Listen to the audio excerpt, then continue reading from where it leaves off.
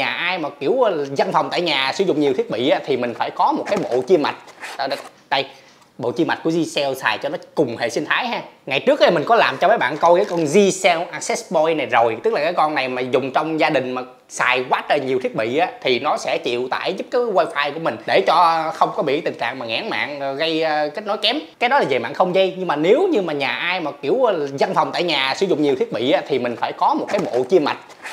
Đây bộ chi mạch của G-Cell xài cho nó cùng hệ sinh thái ha. Cái này nhiều người ta cũng gọi là switch á. Cái con này nhìn vậy nè, nhưng mà không tới bàn tay mình nữa. Năm cổng à một, hai, ba, bốn, năm cổng, nhưng mà nó có cái loại 8 cổng nữa. Thiết kế vỏ gọn nè, kim loại nè, nhìn nó sang không? Hiểu nôm na thì cái này nó có 5 cổng luôn, thì một cổng này nó sẽ kết nối trực tiếp tới cái máy tính. Ví dụ là vậy đi, thì cái tinh tuyến từ cái đường truyền mạng, tốc độ mạng, nói chung mọi thứ về cái mạng thì nó tập trung cho cái máy tính đó. Cái này kết nối đơn giản lắm bạn, cái này mình làm tự làm cũng được nè. Ngoài cái việc là cái switch này nó cung cấp băng thông lên tới 2000 megabit thì nó được thiết kế là không có cái quạt tản nhiệt, thành ra mình làm việc không có tiếng ồn. Thì bây giờ ví dụ như mà mấy anh chị set up cái văn phòng tại gia đi, thì một cổng mình cho ra máy tính, một cổng mình cho ra cái máy in, một cổng mình có thể mình cho ra cái camera hoặc là các thiết bị khác. Với lại cái dòng switch này, nó là cái dòng switch quản lý được. Tại vì nó cùng một cái hệ sinh thái của con G-Cell, thì có phải là mình dễ quản lý các thiết bị hơn không? Cái switch này nè, là giá thị trường của nó gần một triệu đồng, nhưng mà ở dưới góc trái giao hàng tiktok bán còn có năm trăm mấy à bảo sao mình không mua nó?